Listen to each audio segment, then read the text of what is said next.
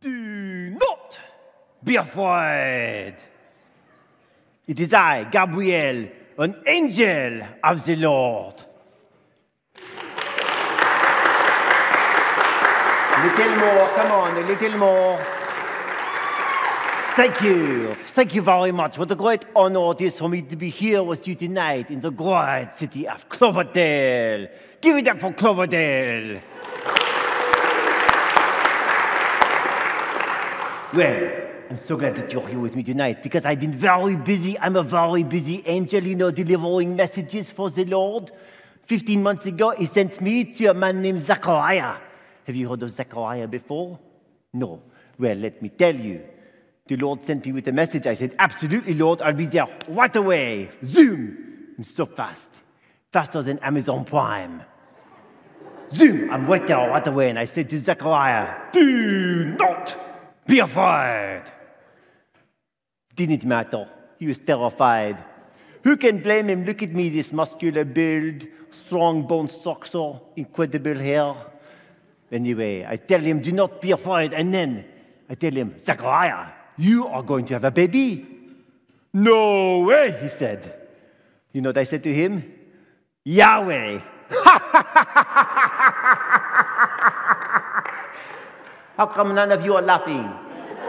That's hilarious. Hold on a second. Let me see. I'm in Cloverdale, Canada, so you speak English and you speak a little bit of French, perhaps? Oui? No? Ah, but you probably do not speak Hebrew. So sad for you.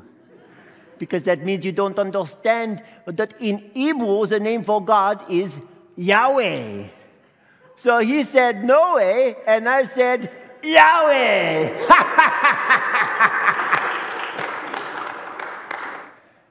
no way. Yeah. Ladies, some of you will have to explain it to your husbands later.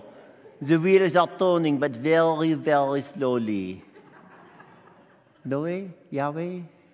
Anyway, so I said to him, Yahweh, but I said, since you did not believe the Lord, you're not going to speak again until the baby is born. You know what he said to that? Nothing. He couldn't speak. I'm really on a roll tonight. You know, it's interesting with you. Uh, it's interesting with you human beings. You're so, you're so quick to believe everything you see on TV, everything you read on the Google, but you're so slow to trust the Lord. Shame on you.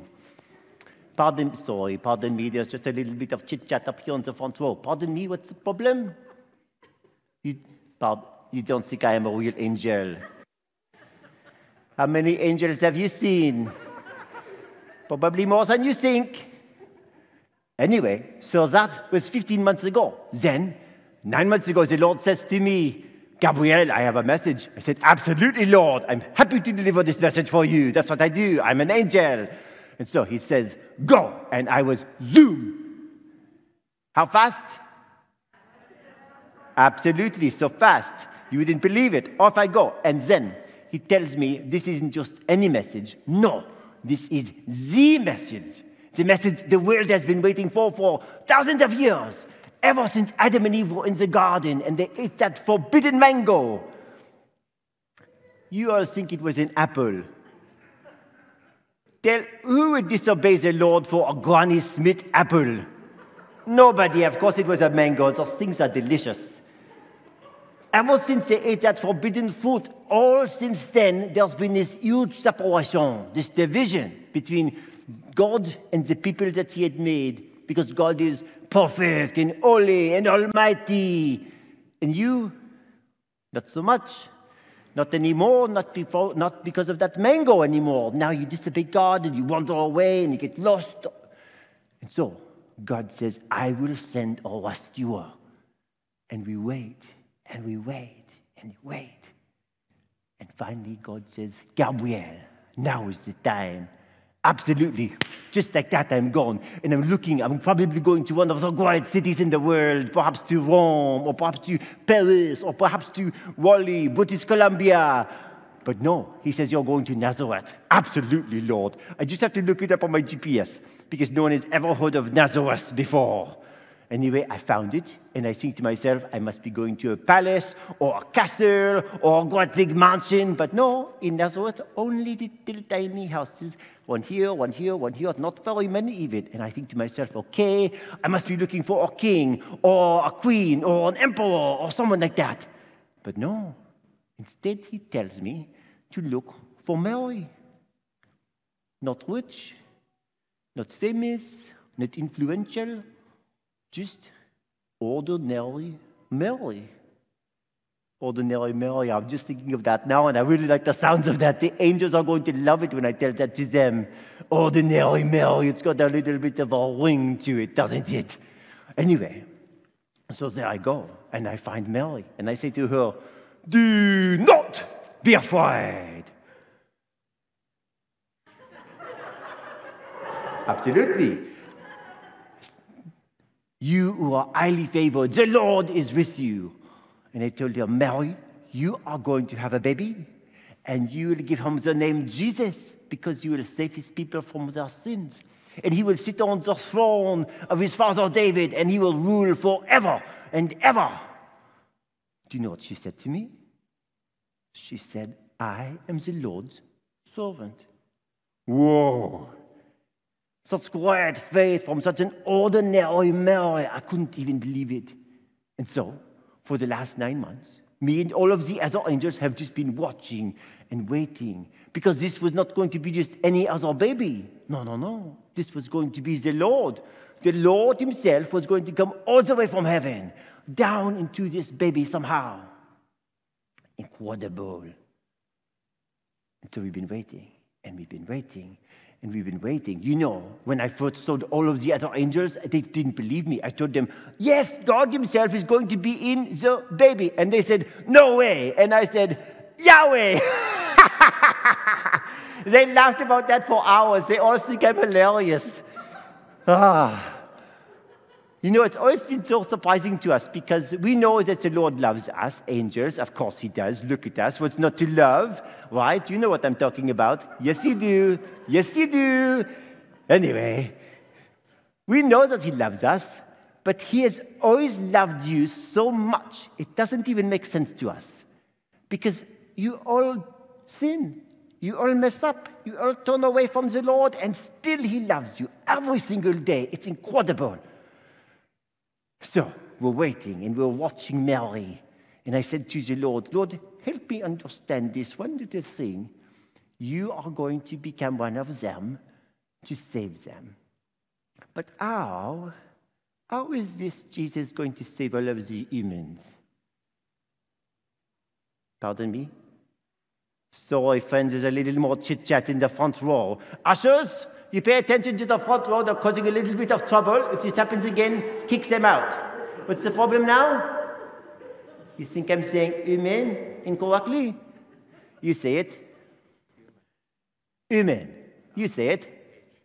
Pardon me. H. Yeah, amen. Amen. Perfect. Yeah, I said it perfectly. Thank you very much.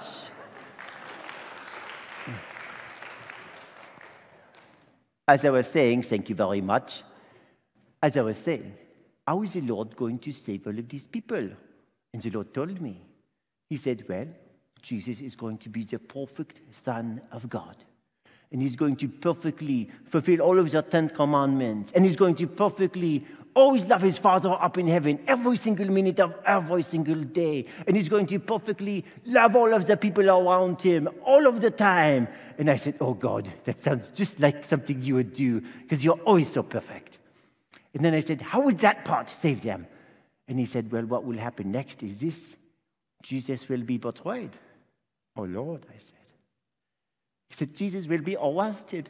Oh, no, I said. He said, Jesus will be nailed to a tree. He'll be crucified and he'll die there. And then I said, No, Lord. No, you're taking it too far this time. You love them too much. You're making a great big mistake. I will never let this happen. No, no, no, no, no way.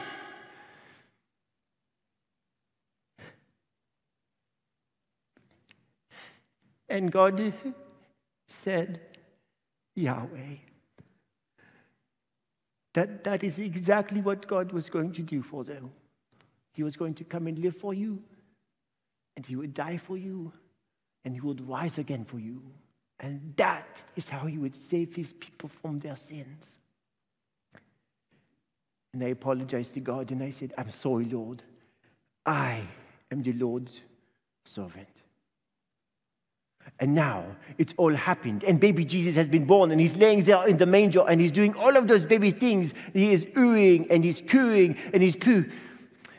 Well, you know what I'm talking about. He's doing all of the baby things and everything is fine.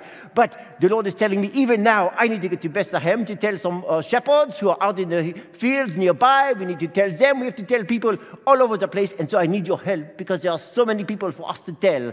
So this is what I'm going to do. I'm going to ask you, uh, children, children, are you here? Children, would you help me? Are there no children here? Children, will you help me? I don't think I can hear you because there's so much hair in my ear. Children, will you help me? Yes. Okay. And ladies, uh, ladies, would you help me? Excellent. And men, big burly men, will you help me? What on? This is what I need you to do. I'm going to make you deputy angels. Angels are messengers, and I need your help. So I'm going to make you deputy messengers with me to help spread all the good news. Please put up your right hand like this and repeat after me. I state your name.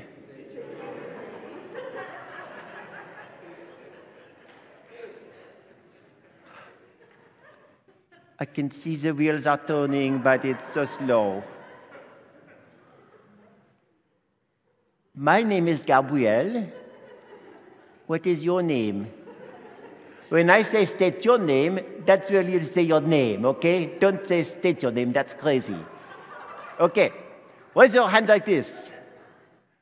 I, state your name, have heard the good news. Jesus, the Savior has been born and I will tell it. And when the world says no way, I will say Yahweh. Because nothing is impossible with God.